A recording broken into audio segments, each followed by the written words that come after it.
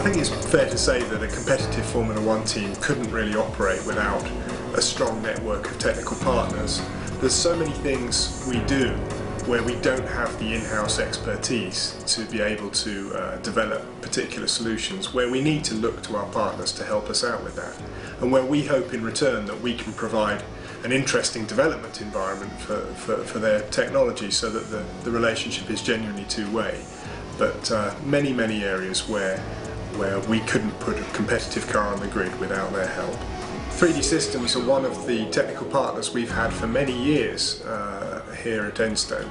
Um, they're also one of the most strategic technical partners we have. Um, aero, downforce, uh, optimizing the aerodynamic efficiency of the car. Everybody knows that's one of the really fundamental things to making a fast car.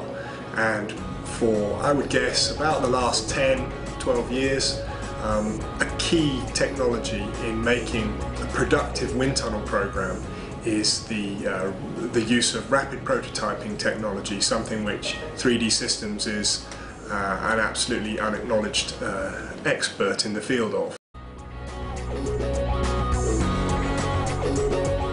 Additive manufacturing technologies such as selective laser sintering and stereolithography will feature heavily in the future of Lotus Renault GP team.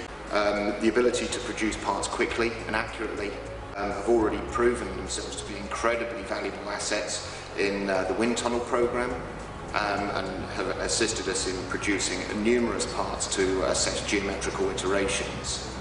What I find particularly exciting is as we move into the realms of rapid manufacturing and that's producing parts directly for the racing car. So as we continue to develop processes and continue to develop materials to allow this to happen, it, it, allows the designers to no longer be constrained in the ways that conventional machining processes may, and also enhances the functionality of the part itself.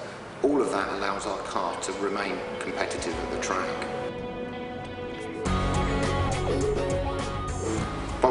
Closely in partnership with 3D Systems, we're looking to push the boundaries of the technology further and further.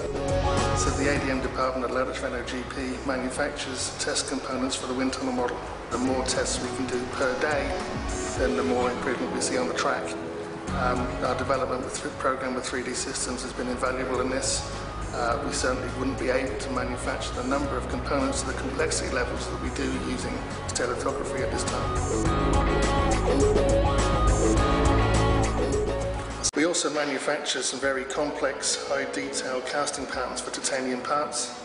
Um, these allow us a quick turnaround and enable us to change the component very quickly throughout the course of the season. Um, this is invaluable for us over the years, producing small components such as this right up to our gearbox main case uh, with a three-day lead time in pattern time.